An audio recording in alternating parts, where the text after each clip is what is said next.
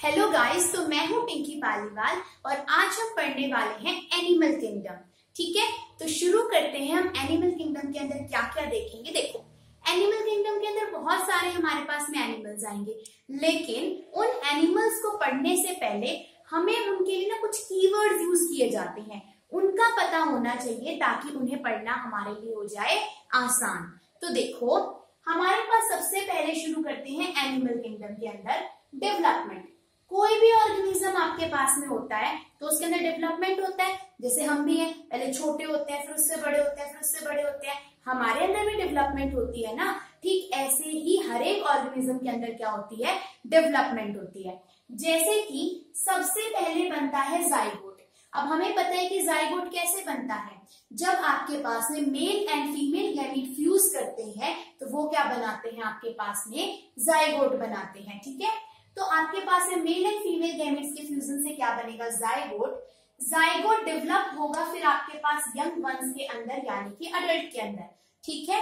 जैसे इस तरीके से समझो, कोई बर्ड है, किसी बर्ड ने क्या दिया, यानी किसी पक्षी ने कोई अंडा दिया, कोई एग दिया। तो एक तरीके से क्या है? जाइगोट से वो एग बना होगा और एग से क्या निकलेगी? फिर बाद में कोई बर्ड निकलेगा। तो ठीक इसी तरीके से जाइगोट से डेवलप हुआ अगर आपका यंग वंस एंड अडल्ट उस केस को हम बोलते हैं डायरेक्ट डेवलपमेंट क्या होगी आपकी? डायरेक्ट डेवलपमेंट होगी। भाई जाइगोट से सीधा का सीधा अडल्ट बन गया। जैसे हम होते हैं। हम क्या है? ह्यूमंस के अंदर क्या होता है? डायरेक्ट बेबी बर्थ लेता है ना तो वो कैसी डेवलपमेंट होती है? डायरेक्ट डेवलपमेंट लेकिन अगर जाइगोट से पहले बने लार्वा और लार्वा से फिर यंग वंस या फिर अडल्ट बने तो इसे बोलते हैं हम इनडायरेक्ट डेवलपमेंट जैसे फ्रोक के केस में होता है। फ्रोक का पहले लार्वा बनता है जाइगोट से लार्वा बनेगा, लार्वा फिर डेवलप होके पूरा बड़ा फ्रॉक बनेगा। ठीक है हमारे पास में? तो ऐसे केस को हम क्या बोलते हैं? इनडायरेक्ट डेवलपमेंट यानी इनडायरेक्ट डेवलपमेंट में आपका क्या होगा? लार्वा की फॉर्मेशन होगी और डायरेक्ट डेवलपमेंट में सीधा का सीधा जाइगोट से क्या बन जाता है? नया यंग वंस बन जाता है। ठीक है अपने पास में? जैसे अगर हम ह्यूमंस की बात करें तो हमारे अंदर क्या होती है? डायरेक्ट डेवलपमेंट होती है। यानी देखो, अब बेबी ने बर्थ लिया तो वो सीधा का सीधा हम जैसा बन जाएगा ना? ऐसा तो है नहीं कि पहले उसके अंदर कोई लार्वा की स्टेज आएगी, ऐसी स्टेज आएगी, नहीं आती। लार्वा की स्टेज जिनके अंदर आती है, वो क्या कहलाते हैं आपके? होगी इनडायरेक्ट डेवलपमेंट ठीक है? अब है, मैंने एक यहाँ पे पॉइंट लिखा हुआ है। ये जो मैंने फ्लो चार्ट बनाया हुआ है, ये बनाया हुआ है, इससे हमारे पास दो चीज़ें क्लियर होंगी। कौन सी? देखो अब जो जाइगोट होता है ना जाइगोट डेवलप करता है अलग अलग आपके पास में स्टेजेस के अंदर।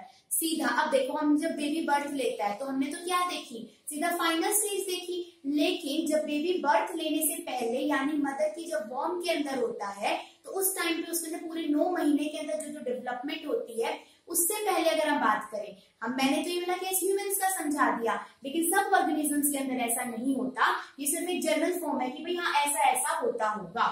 ठीक है? तो अब देखो, जो जाइगोट है जाइगोट टू से सॉरी जाइगोट क्या है? वन सेल की स्टेज है आपके पास में। क्यों? दो सेल फ्यूज हुए होंगे, उनसे जाइगोट बना होगा आपके पास में। यानी जाइगोट कैसा होता है? डिप्लॉयड होता है। या उसको भी छोड़ो। जाइगोट जो होता है हमारे पास में जाइगोट बड़ा होकर बनता है मोरूला ठीक है? यानी जाइगोट के अंदर जब डेवलपमेंट होगी तो वो बनता है मोरूला मोरूला के अंदर जब डेवलपमेंट होती है तो वो बन जाता है ब्लास्टुला और ब्लास्टुला के अंदर जब डेवलपमेंट होती है तो वो बना देता है गेस्ट्रुला।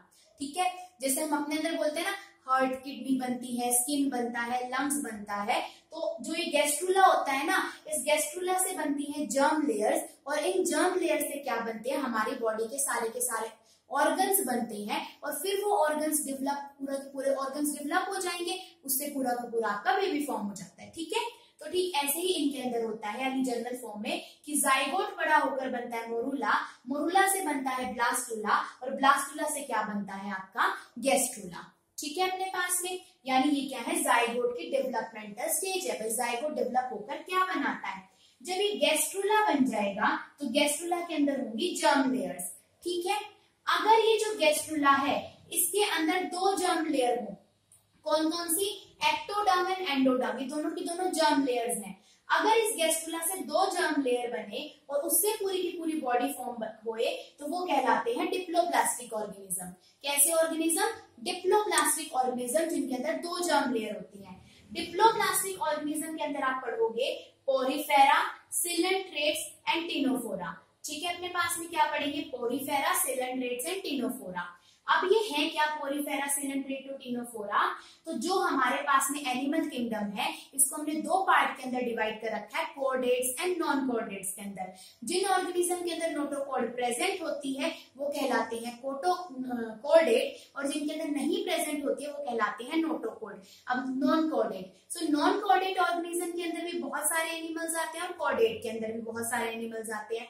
सो so, जो नॉन कोऑर्डिनेट होते हैं उसके अंदर आपके पास में ये नो कैटेगरीज आती हैं जिसके अंदर? नॉन कोऑर्डिनेट्स के अंदर हम पढ़ते हैं porifera coelenterates platyhelminthes aschelminthes annelida arthropoda mollusca echinodermata and hemichordata यही हमें एनिमल किंगडम के अंदर आगे जैसे पोरीफेरा क्या है फाइलम का नाम है तो इसके अंदर हम पढ़ेंगे कि पोरीफेरा फाइलम के अंदर जो ऑर्गेनिज्म होते हैं, उनके क्या क्या फीचर्स होते हैं। इनके ऊपर पूरी एक एक क्लास होगी अभी हमारी कि नॉन कोऑर्डिनेट ऑर्गेनिज्म के अंदर जो आपके पास में आते हैं, इनके क्या क्या फीचर्स होते हैं। आपके पास जैसे ये क्या है? आठ नौ आपके पास अलग अलग फाइलम है और इन फाइलम के अंदर अलग अलग ऑर्गेनिज्म आते हैं। यानी यू मान लो कि एक जैसे पोरीफेरा है, ये पूरी पूरी एक फैमिली है और इस फैमिली से हमारी फैमिली होती है और इस फैमिली के हर एक मेंबर के बारे में हमें पढ़ना होता है। सारे मेंबर्स के बारे में पढ़ना पॉसिबल नहीं है तो हम जनरल फीचर्स पढ़ते हैं। ठीक है? तो ऐसे ही जो पोरीफेरा और जो सिलेंट्रेट होते हैं टीनोफेरा आप कंफ्यूज हो गए टीनोफ्लोरा इनमें से ही एक का दूध का कॉमन नेम है, वो हम बाद में देखेंगे। ठीक है? तो पोरीफेरा एंड सिलेंट्रेटा अगर ये जर्म लेयर आपकी तीन जर्म लेयर्स में डिवाइड हो एक्टोडम एंडोडम एंड मीजोडम के अंदर तो वो ऑर्गेनिज्म कहलाते हैं ट्रिप्लोब्लास्टिक सो प्लेटी से लेकर मैमल्स तक सबके सब क्या होते हैं आपके पास में? यहाँ पर मैंने पोरीफेरा से लेकर हेमिकोडेटा तो लिखा हुआ है। इसके आगे जो होते हैं वो ऑर्गेनिज्म कोर्डेटा के अंदर आते हैं और कोर्डेटा के अंदर फिर हम आगे पढ़ते हैं। इनका एक फ्लो चार्ट में इससे पहले वाली एक वीडियो के अंदर करा चुकी हूँ। आप वहाँ से देखना, वहाँ से क्लियर हो जाएगा बिल्कुल। ठीक है? तो ये चीज़ हमारे पास में होगी। अब यहाँ पर हमने क्या देखा? डायरेक्ट इनडायरेक्ट डेवलपमेंट देख ली। कौन डिप्लोप्लास्टिक ऑर्गेनिज्म होते हैं? कौन ट्रिप्लोप्लास्टिक होते हैं? ये भी देख लिए। अब अगर जो ये गैस्ट्रुला है गैस्ट्रुला की जो जर्म ले, गैस्ट्रुला बनाएगा जर्म लेयर जर्म लेयर से हर एक ऑर्गेनिज्म की पूरी की पूरी बॉडी फॉर्म होती है। तो जो गैस्ट्रुला है, जो ओपनिंग ऑफ़ गैस्ट्रुला होती है, वो कहलाती है ब्लास्टोफोर ठीक है आपके पास में? ओपनिंग ऑफ़ गैस्ट्रुला क्या कहलाती है? ब्लास्टोफोर अगर जो ये ब्लास्टोपोर है, ये बना दे किसी ऑर्गेनिज्म का माउथ तो वो कहलाते हैं प्रोस्टोस्टोमस आपके पास में। वो क्या कहलाएँगे?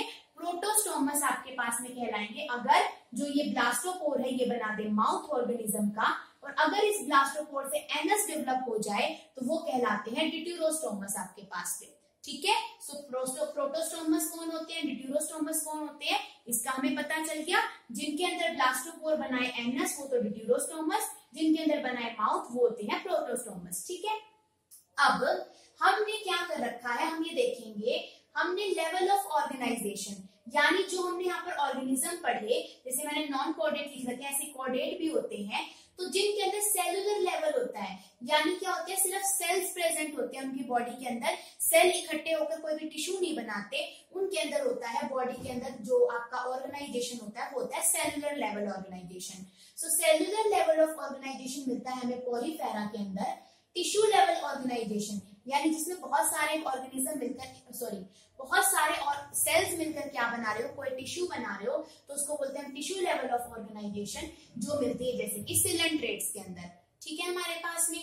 अगर पूछे ऑर्गन लेवल या फिर ऑर्गन सिस्टम लेवल तो वो हमारे पास प्लेटी हेलमेंटिस से मिल, से शुरू कर कर हैं हेलमेंथिस से लेकर ये सारे के सारे एस्कल हेलमेंथिस एमिलिडा अर्थोपोडा इसके आगे जो कॉर्डेट्स भी आएँगे, वो सारे के सारे कैसे होते हैं, उनके अंदर, यानी उनकी बॉडी के अंदर ऑर्गन्स मिलते हैं। जो सिलेंड्रेटा होता है, इसकी बॉडी के अंदर सिर्फ़ टिश्यू मिलते हैं और पोरीफेरा के अंदर सिर्फ़ और सिर्फ़ सेल्स मिलते हैं हमारे पास में, ठीक है?